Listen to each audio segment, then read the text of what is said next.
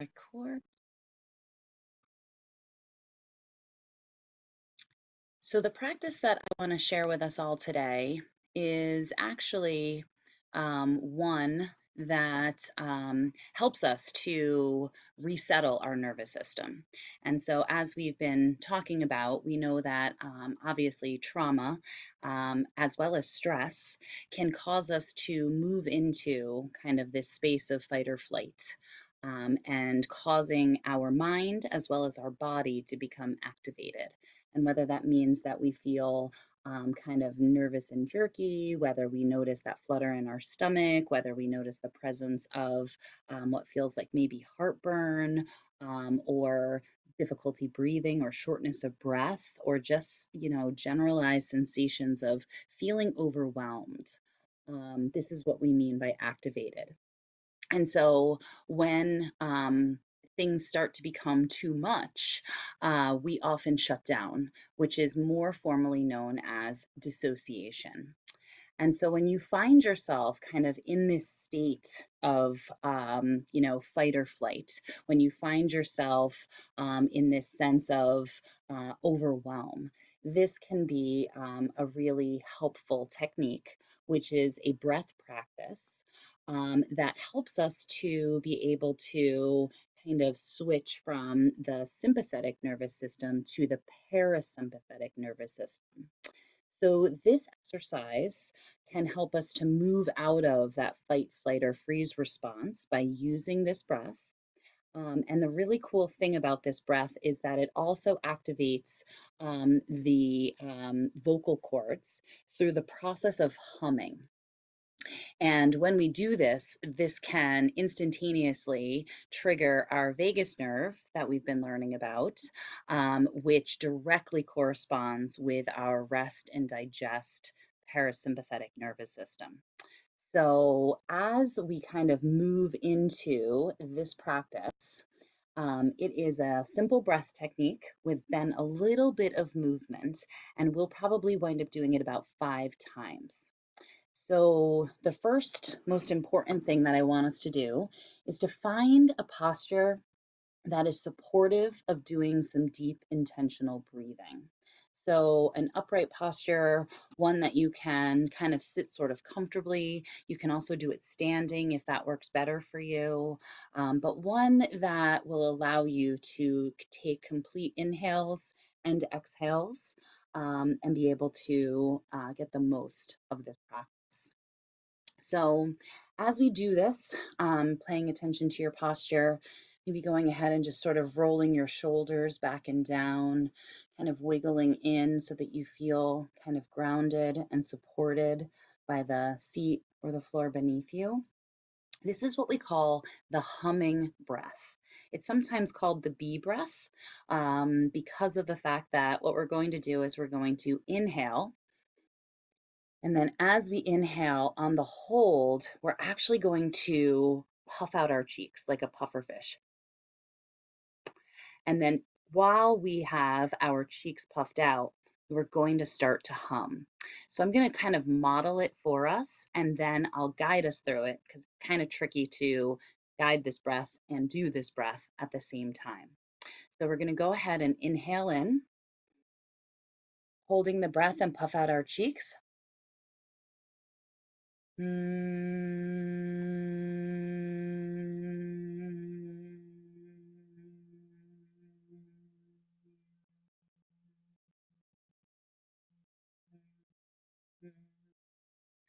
Emptying out all the contents of air from our lungs and our body. So, as we kind of do this breath, as you're humming, you're going to want to almost imagine as if you are making like the sound of the letter O. Of course, it's not going to sound like the letter O because your mouth is closed and your cheeks are puffed out, but that's sort of how you're going to produce that humming sound. So let's go ahead and repeat that. Inhaling, holding and puffing out your cheeks. Mm.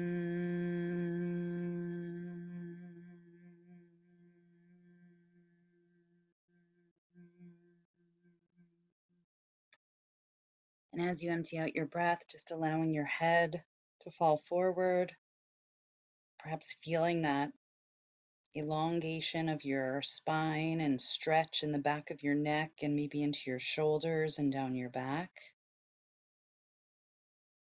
And then preparing to come back to center, inhaling, holding and puffing out your cheeks.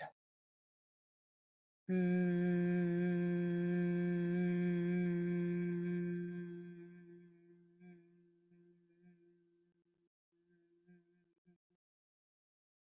And then dropping your head down again, chin to chest if you can.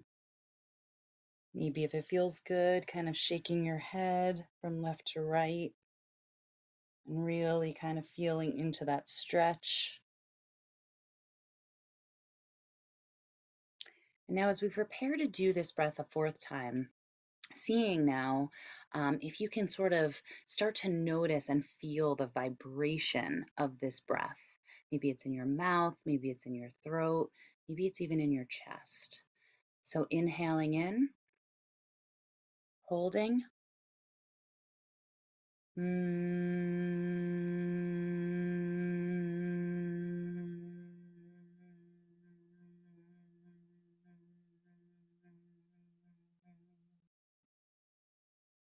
Dropping your head down, sweeping from left to right.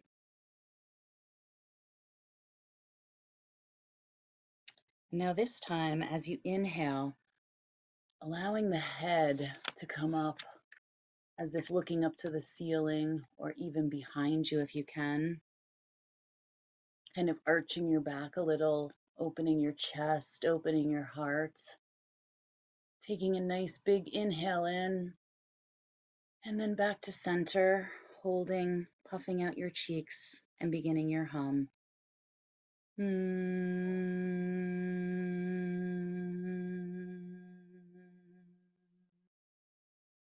Putting it all together, allowing your head to fall forward, kind of swaying from side to side. It feels right for you, maybe also inviting your back or your hips to kind of sway. Inhaling, head to ceiling, chest out. Back to center, hold and puff out those cheeks. Mm.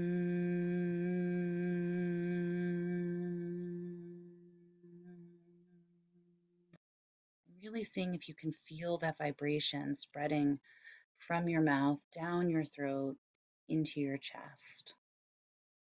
And so that's it a simple bee breath or humming breath that also involves a little bit of stretching and tapping into the vibration of that breath, which can really help us to not only let go and to relax into the different stress and tension that we might feel in our body, but also helps us to um, break down our activation of the fight, flight, or freeze.